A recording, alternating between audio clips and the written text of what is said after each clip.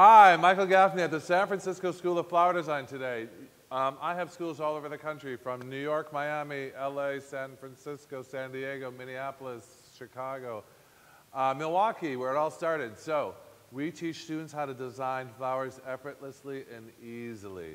Uh, flower designing, I call it Zen in the art of flower design. It's very easy to do once you've been shown how. I used to work on Wall Street, New York. I stopped in a flower shop. Somebody showed me how. It took me six years plus another 10. I call it the Da Vinci Code of flower designing. I'm going to shave 15 years off of your career and teach you very quickly how to do things that took me a long time to figure out. Um, it's all in the book Design Star. I have a book here that's out. It's available for purchase on uh, Amazon. And uh, all the tips are in the book. There's a thousand tips in the book, I always say, and a million in the classroom. So welcome to my classroom. Today I'm in San Francisco. Yesterday I was in San Diego. And tomorrow, or two days from now, I'll be back in Chicago teaching. So uh, let's talk about flower designing. This is a, you bring flowers home and you always say, oh, it always turns out ugly. Well, you need to know the technique. So I'm going to give you a really, really easy design. This is for uh, a beautiful vase arrangement. And we're going to use hydrangeas today again because everybody likes hydrangeas. Uh, the last two or three videos I've done have hydrangeas in it. So let's get started. First, you're just going to form a, I call it a fistful of, uh, of hydrangeas. You're going to start with two or three in a nice little triangle. See that? There's your triangle. Now we're going to simply collar around those.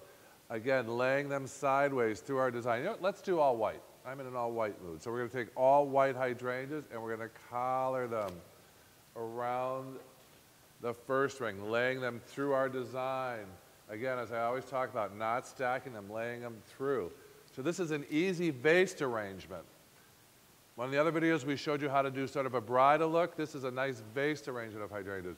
So there, there's a good start. We're going to add another ring around the bottom of these hydrangeas. Just working our way around, pushing them through either on the left or on the right side of our flowers, right there and right there. Switching hands. This is not one of those bouquets you rotate. You just switch hands and you enter them from side to side. See that?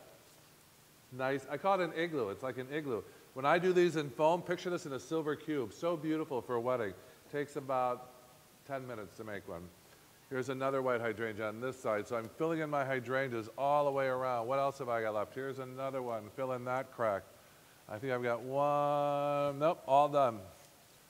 Nope, one more right there. So we've got our nice big dome of hydrangeas. I'm going to take this dome. Here's my glass. You, this is a big glass. I could put probably twice as many hydrangeas. So uh, make sure you, you, you guess the right size of your container so you have enough to fill it. And I'm going to snip these. Again, the secret to hydrangeas is alum powder, A-L-U-M. And I know I'm talking fast, but in class I talk very fast. You get a lot of information every class. Alum powder is the key. I'm going to drop these in and set them into my vase carefully and just sort of pat them lightly into a nice round igloo. A nice ball of hydrangeas. Pull some out, push them in. Whenever I design flowers, nothing touches the bottom of my vase. You can see that down here. That gives me the freedom to manipulate them up, down, and up. So I have that perfect, nice cylinder hydrangeas. Voila, like an Elle Decor, all the magazines. This is pretty alone. I wouldn't have to do anything. But today I'm going to take some uh, white Casablanca lilies, and uh, I'm just going to fill in between the cracks. Right there, let's do one up front so you can see. Right there, make this nice and clean, get rid of all the leaves, and just set some pretty lilies in there to add a second flower to our design. So again, flower designing is 90% technique, 10% creative juices. This is such easy work, this kind of work to do. Now put some lilies in there. Again, cleaning these off, stripping this off so they glide in there nice and easy without damaging your hydrangeas. Like that. Getting, oop, I missed the vase. Make sure you hit the water. It's got to hit the water. Everything's in the water. Now, I'm going to take a few white roses and do the same thing.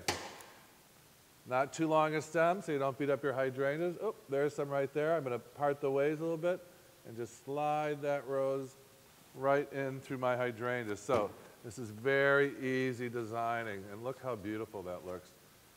Looks like it'd be in the hotel, uh, hotel lobby or in a very uh, beautiful home in the entryway. So I'm just adding some roses into between my hydrangeas to add a little contrast. And the, the beauty of the hydrangeas is they hold your flowers in place. It's like having a big pin cushion. Like that. So, within two minutes, you're designing like a pro. That's what happens in my classroom. The first day, students come in. Here's my joke. I always say, here's the good news and the bad news. The good news is if you don't design gorgeous flowers today, I will pay for your entire education. The bad news, it's never happened in 12 years of doing schools because we teach really pretty techniques. I'm going to lift this out of the vase a little bit to make it very buoyant.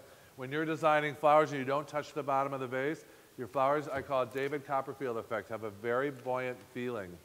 So I'm just going to add a few more roses. And look at this pretty show-stopping design we have. This is very nice, my kind of look. Beautiful all-white design. And if you really want to uh, design like a pro, your neighbors are going to come over and say, have you been hanging out with a designer? Have you, what's with all the beautiful flowers in your house? Take a little bit of Pittosporum. porum. A lot of you have this growing in your backyard. Take anything growing in your backyard and do a little bit of collaring around the edges. Just tuck this in like that. You know, that little bit of pretty, see that pretty greenery? You like that. Put a little bit of greenery around the edges. And you have a nice, beautiful, simple hydrangea. I call it hydrangea based because it's a base of hydrangeas and you build off of that base of hydrangeas. So I got my pit in there. I'm going to raise my center up just a little bit. See how I can adjust it? Spin that around, tuck it in, pull. And there you have it, easy breezy designing from the San Francisco School of Flower Design. If you want for information on classes, call um, 877-322-5666, but most importantly, go to flowerschool101.com and watch the videos. You'll see me on the Today Show Hallmark channel. You can learn a lot by watching videos. Thank you so much from San Francisco. It's gorgeous here today. I wish you were all here. See you in class.